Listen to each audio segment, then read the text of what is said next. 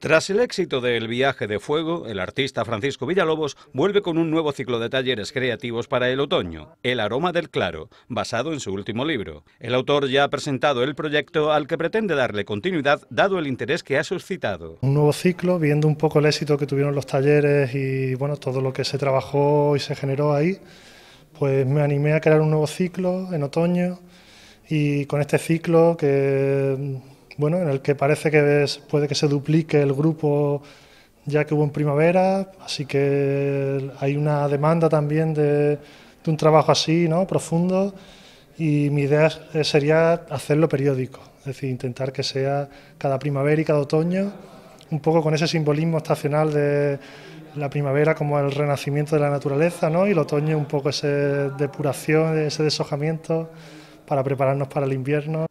El ciclo se divide en dos etapas de cinco sesiones cada una. Los talleres serán los lunes de 7 a 9 en el laboratorio del autor. En octubre, la etapa del autoconocimiento será el día 1 con el pensamiento magmático creativo. El día 8, dimensión oracular de los signos. El 15, anatomía y fisiología sutil.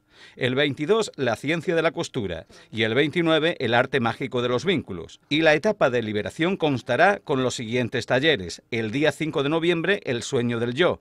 El 12, reconquistar el centro. El 19, la acción pura del yogi. El 26, restaurar la cosmogonía. Y el 3 de diciembre, epistemología angélica. Lo que vamos a trabajar es, primero hay una primera etapa de autoconocimiento donde se van a desplegar como mapas internos.